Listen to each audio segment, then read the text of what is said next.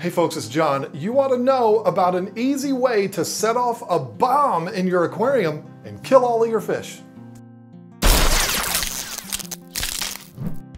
So you're sitting at home looking at your aquarium thinking, this is looking a little bit boring. I, I, need to do something with this. I need to add something to here to boost the activity in the tank. I'm bored with this. So you head down to your nearest pet store to pick out some new fish to add to your boring aquarium.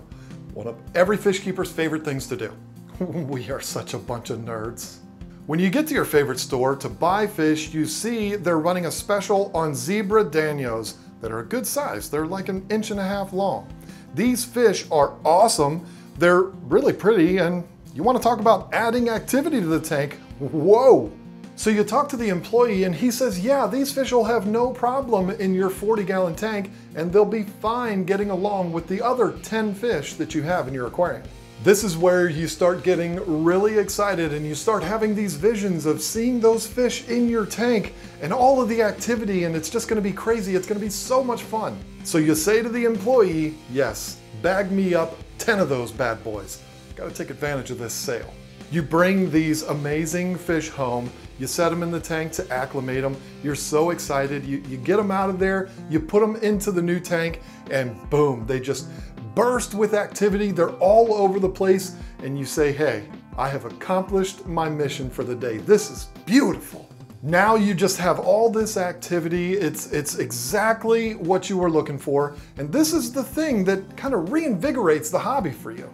Life is great but it's very possible that you've just lit a fuse and eventually that bomb is gonna go off. Everything is going great. The fish are all getting along. There's all kinds of activity. You're feeding them twice a day. You're keeping up with your maintenance. You're even putting a little bit more food in there because, well, there's more fish in there now and they're so active you figure, well, they're probably gonna build up more of an appetite. So you just keep throwing food in there. And after a week or so, you wake up and everything is normal. You feed your fish and you head off to work.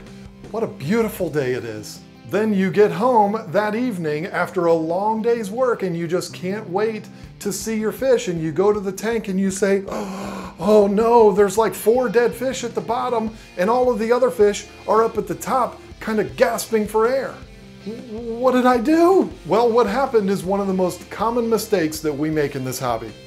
And no, it's actually two mistakes. The first mistake is adding too many fish all at one time. We all know the nitrogen cycle by now, right? If you don't, if you're still unclear about it, I'll put a card up in the corner, go watch that, familiarize yourself with the nitrogen cycle. But now let's move on. Your aquarium had established itself for the 10 fish that you already had. You were doing your maintenance, you were keeping up with everything, and everything was great but then you added 10 more fish to there, which increased the bio load and the bacteria couldn't keep up. When you add that many fish at one time, you're not only increasing the load that you're putting on that tank, but you're probably also gonna be throwing more food in there because, well, there's more fish in there. That means we need more food. More food equals more waste. More waste equals more ammonia. Your bacteria does its best to keep up. It's trying to handle all of this new waste and all of this new load, but eventually it just can't keep up and everything crashes. This is why I said it's like lighting a fuse and eventually that bomb will go off. The second mistake is impulse control. Every single fish keeper has done this. We see something that we like and we just have to have it. Sometimes this will work out, but sometimes the impulse is so powerful that we can't control it and we ignore the basic fundamentals of this hobby.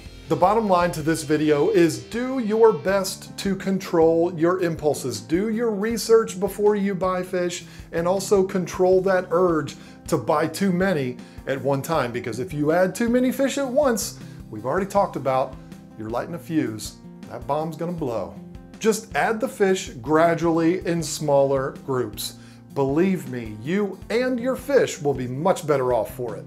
So there you go, now you know adding too many fish to your aquarium at one time is like setting off a bomb in your tank. And you also know that you need to learn how to control yourself when you're in the fish store.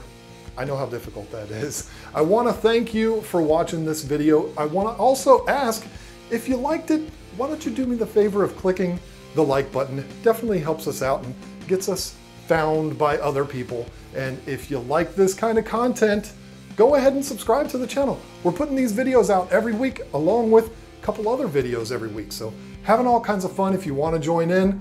Subscribe, click the bell, do all that good stuff. Anyway, thank you so much again for watching, and I'll see you next week where I'll tell you something else you ought to know.